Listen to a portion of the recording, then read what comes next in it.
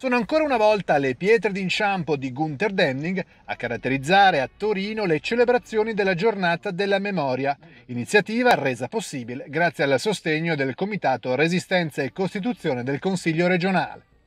Otto gli Stolperstein posati quest'anno sui marciapiedi e nelle vie della città, ognuno a ricordare una vittima della deportazione nazifascista. Per la prima volta dopo sette anni alla posa delle sue pietre non era presente l'artista impossibilitato a lasciare la Germania a causa della pandemia. La celebrazione ufficiale in corso Regina 128 all'ex caserma dei Vigili del Fuoco, dove sono stati ricordati Francesco Aime e Giovanni Bricco, due giovani appartenenti al corpo deportati a Mauthausen per aver combattuto con la resistenza. Due deportati che hanno un duplice eh, motivo per essere riconosciuti, perché eroi come Vigili del Fuoco, eroi che hanno eh, lottato per la liberazione del nostro paese, deportati in campi di concentramento e ahimè eh, come dobbiamo ricordarli come tali. Abbiamo necessità di far conoscere, conoscere con le pietre d'inciampo anche in questo momento di emergenza sanitaria, le pietre d'inciampo alla popolazione torinese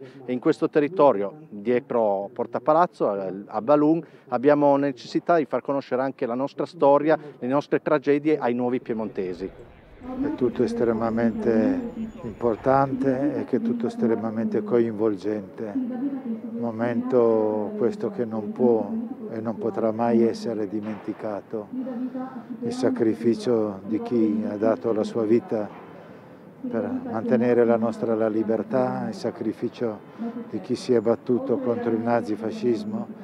di chi ha saputo mantenere l'umanità in questo mondo che in quel momento l'aveva totalmente persa, c'è ancora da chiedersi come e non può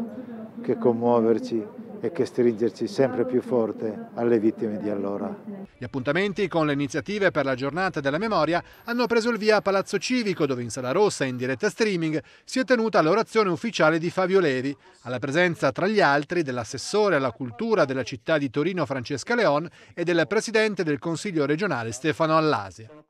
Grande spazio è stato poi riservato alle scuole, con la Cineteca della Resistenza a cura dell'Archivio Nazionale Cinematografico della Resistenza e con il laboratorio sulle pietre d'inciampo, curato dal Museo Diffuso della Resistenza. Sempre i ragazzi sono stati i protagonisti di Adotta un negazionista, diretta radiofonica su Tradiradio, organizzata dalla Rete Italiana di Cultura Popolare. Tra gli altri appuntamenti anche il podcast Il Polo è sempre online per il giorno della memoria, che a più voci ha ripercorso le vicende della persecuzione degli ebrei italiani dalle leggi razziali al 1945, organizzato dal Polo del Novecento. In occasione della giornata della memoria, poi, la Biblioteca della Regione Piemonte espone nelle vetrine dell'URP di Via Arsenale 14G alcuni volumi selezionati tra i titoli sul tema della Shoah L'elenco delle pubblicazioni e le modalità per il prestito sono consultabili sul sito del Consiglio regionale. Le celebrazioni si concluderanno il 7 febbraio con la lettura scenica Mikolaiska 26 sulla figura di Zuzanna Ginzanka, poetessa ebrea polacca originaria di Kiev.